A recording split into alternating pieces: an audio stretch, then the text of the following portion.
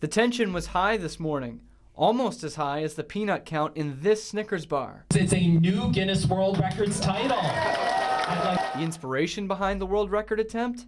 Living up to Texas's reputation. People already told me everything is bigger in Texas. And that's what all of our associates here mentioned as well.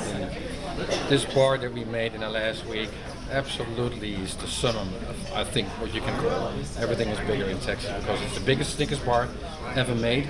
It's the biggest chocolate peanut bar ever made in the world. The bar weighs about 2 metric tons, over 4,000 pounds. It's 2 feet high and 26 inches wide. It is made up of 43,000 single sized Snickers bars. The plant first had the idea two weeks ago, and it took them a week to make it.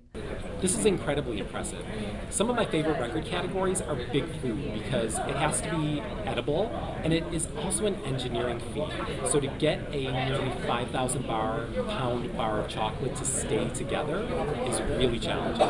The plant is one of the world's leading producers in candies such as Snickers, M&Ms, and Skittles. Mars says this world record is a tease to the Snickers Super Bowl commercial on Fox 44 February 2nd. So what's great about this record is that the factory workers here don't normally have the opportunity to do something on this scale. You know, they make a product everyone loves and eats on a daily basis. To do it on this scale and to really go and do something above and beyond is really inspiring.